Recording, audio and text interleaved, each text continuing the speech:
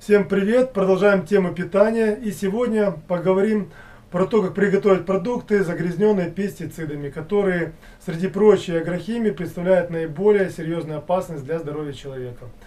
Пестициды это собирательное такое название для химических веществ, э, которые применяются в сельском хозяйстве для уничтожения насекомых вредителей и для уничтожения сорняков. Без употребления, без использования пестицидов сельское хозяйство теряло бы до 50% своей продукции. Поэтому использование их э, считается рациональным. Попадая в организм человека в большом количестве, э, пестициды способны вызывать острое отравление. Однако, даже если они попадают в организм человека в небольших количествах, э, они там накапливаются, то есть они, скажем так, аккумулируются в организме человека и со временем способны вызывать хронические отравления. Пестициды попадают в организм человека в основном двумя путями. С водой, в которую они смываются с полей, и э, по трофическим цепям, то есть с пищей. Большинство ядохимикатов, которые используются на полях э, на сегодняшний день, они не стойки в окружающей среде и быстро разлагаются. Поэтому после использования этих ядохимикатов необходимо выдержать определенный промежуток времени перед тем, как собирать урожай. Что касается пищи животного происхождения, то здесь необходимо помнить, что при обработке животных э, средствами от паразитов эти средства могут обнаруживаться в дальнейшем в мясе и молоке вот этих животных. А теперь предлагаю поговорить о том, как сделать более безопасными продукты питания, в которых пестициды содержатся в количествах, превышающих нормы. Начнем с фосфороорганических соединений, так называемых ФОС. Э, как обезопасить э, ягоды, фрукты и овощи? Для этого их необходимо хорошенечко помыть. В этом случае часть ФОС будет смыта вместе с водой. В случае с белокочанной капустой необходимо ее разобрать на отдельные листья и помыть каждый листик по отдельности.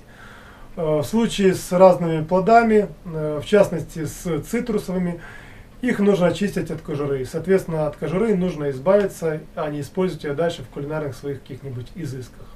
Воздействие высоких температур частично либо полностью разрушает фосфороорганические соединения, поэтому есть смысл э, подготовленные овощи либо фрукты залить э, кипятком, то есть ошпарить кипятком, либо э, проварить их в течение 5 минут. То есть ставим воду на огонь, ждем, когда она закипит, кидаем наши продукты питания и после 5 минут варки быстренько достаем их и охлаждаем, для того, чтобы прекратить воздействие высоких температур. Кстати, таким же образом нужно обрабатывать огурцы, которые предназначены для салатов.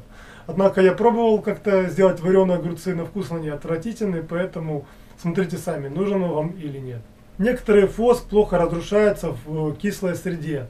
Поэтому, когда вы готовите э, подозрительные фрукты и овощи, их не нужно мариновать, либо квасить. И ни в коем случае нельзя варить эти продукты в подкисленной воде, либо жарить их в масле. Загрязненные фосфороорганическими соединениями э, продукты животного происхождения, например, мясо и молоко, необходимо термически обрабатывать. Далее плавно переходим к хлороорганическим соединениям, так называемым ХОС. ХОС, они не растворимы в воде, но хорошо растворимы в жарах. И поэтому удаление их либо невозможно, либо очень затруднительно. В связи с этим рекомендуются продукты, которые загрязнены хлороорганическими соединениями, вообще не употреблять в пищу. Но тем не менее, если такая необходимость есть, острая, то их нужно обработать определенным образом. Например, с овощей и фруктов рекомендуют удалять в обязательном порядке кожуру. В случае с капустой необходимо снять от 4 до 8 э, верхних листьев капусты и удалить их. Э, в случае с ягодами их необходимо пустить на сок, а всю мякоть также удалить. Листовые овощи, например лук, которые загрязнены хлороорганическими соединениями, употреблять категорически нельзя. Э, в случае с зерном его перерабатывают на муку высшего сорта, и в этом случае данные э, вредные вещества содержатся в основном в отрубях. Отруби удаляют.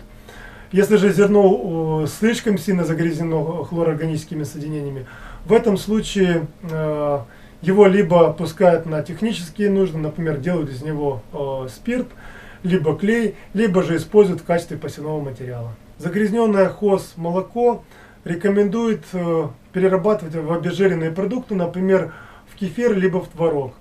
Если же мясо загрязнено фос, тогда его смешивают с чистым мясом и добиваются концентрации хоз в таком продукте, чтобы она была ниже, чем допустимые нормы. После этого из такого мяса смешанного делают, ну, как правило, делают колбасные изделия. Если же у нас имеются загрязненные хоз яйца, то эти яйца, как правило, пускают для кондитерских целей. Что же касается ртуть органических э, пестицидов, то все продукты, которые загрязнены конкретно этим видом пестицидов, уничтожаются. То есть употреблять такие продукты ни в коем случае нельзя. А по пестицидам у меня на сегодня все. Если кто-то интересуется э, тем, как обезопасить продукты, загрязненные теми или иными вредными веществами, следите за следующими выпусками. В следующий раз в теме о питании мы поговорим про то, как приготовить продукты, загрязненные нитратами, нитритами и нитрозаминами.